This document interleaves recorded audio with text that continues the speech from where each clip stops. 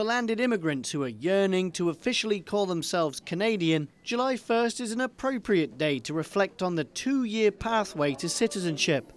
Permanent residents or refugees utilising services at the Victoria Immigrant and Refugee Centre are taking part in a free programme helping them to prepare for their citizenship test. And at the same time, we're taking advantage of the opportunity to promote good citizenship values. Some 28 years ago, Canadian citizen Alvaro Moreno first arrived in Canada, a refugee from El Salvador.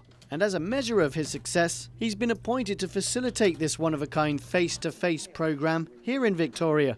An idea that he hopes will spread across the country. Uh, this is a very recent contract. We started in November from scratch with the uh, objective of creating a curriculum to promote citizenship. The Canadian citizenship test was first revamped in 2010 in attempts to make it more challenging, and with subsequent modifications, failure rates across the country have increased. Very difficult. I had the opportunity to compare the old test with the new one, and I'm telling you that the amount of text, the wording is very, very hard now compared to the old one.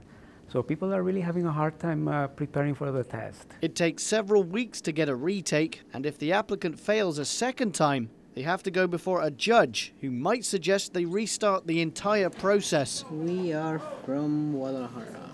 That's why Angel Gallardo and his mother are studying hard for their test. They're permanent residents who came to Canada from Mexico seven years ago. Uh, we have uh, to study the whole week.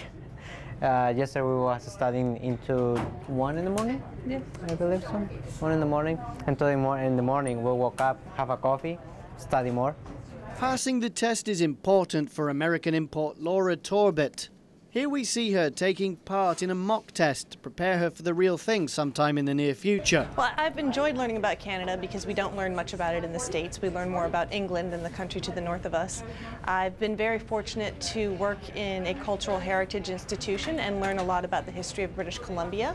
And this class allows me to learn about the entire country, not just the province. It's the last phase in a 25 month application process, costing her $200 a fee that might double later this year.